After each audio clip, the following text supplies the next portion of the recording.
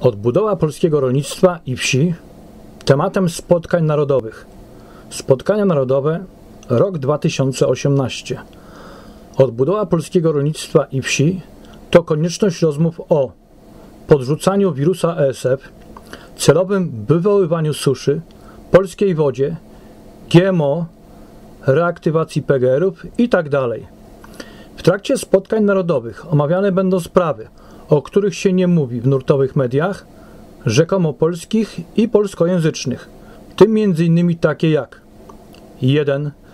Wywoływanie suszy w Polsce przy pomocy tajnych programów wojskowych dla zniszczenia polskiego rolnictwa, a co za tym idzie, sprowadzenia z zagranicy produktów rolnych.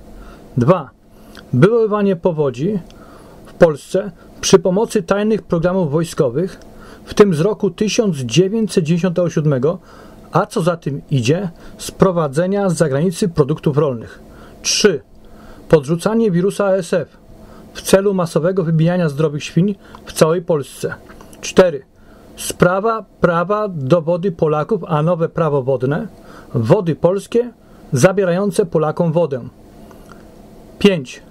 Roundup firmy Monsanto z zabójczym składnikiem glifosat i inne z tą samą zawartością. 6. Reaktywacja PGR-ów, czyli przekazanie rolnikom majątków państwowych gospodarstw rolnych. 7. Sprawa GMO i ochrony prastarych polskich nasion. 8. Sprawa obrony koniecznej. 9. Sprawa zjednoczenia wszystkich rolników, hodowców, ogrodników, pszczelarzy, przedsiębiorców ogólnie ludzi mających ziemię. 10. Inne zagadnienia.